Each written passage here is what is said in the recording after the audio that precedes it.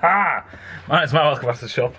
And uh, back in the back uh, a while back, I showed I put this picture up. Fucking focus, you bastard! When I was talking about the V notches in the banjos, and I sent um, there was loads of uh, people with comments and stuff. Some people got it right, some people got it wrong, or whatever. Yeah, it's just one of those things. So I literally uh, contacted um, HEL, and we killed some kids. And I said, could you basically, you know, I've got a YouTube channel, can you basically tell us, me and the guys, uh, why these V notches are there? Some people said it's about wrapping um, oh, locking wire. Well, no, because locking wire bolts have holes in them, and I'll put a picture of that. up. And that this has no holes in it.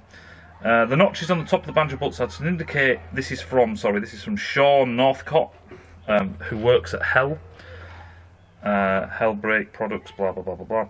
It says the notches on top of the banjo bolts are to indicate that it is a, it is a metric thread. The imperial bolts don't have the notches. It helps to identify them as a visual, uh, as a 13, uh, a 3 8 13, thir- a 3 8 JIC thread. Looks very familiar to the M10 by 1. Cheers, uh, best regards, Sean. So, thank you very much, Sean, and thank you for getting back to me. You know, you could have just gone there, fuck that. Um, so that's the reason they're literally just to signify that they are metric. Obviously, they'll probably have bins, and when they make up the kits, they come in the boxes.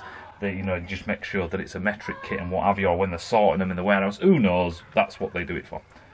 That's a really quick, short one, but uh, we have an answer. So in the future, when you want to impress your girlfriends and all this, you're crowded around your bike, you go, ah, the, them notches are for the uh, the uh, metric identification, and then you might, you might get a blowjob.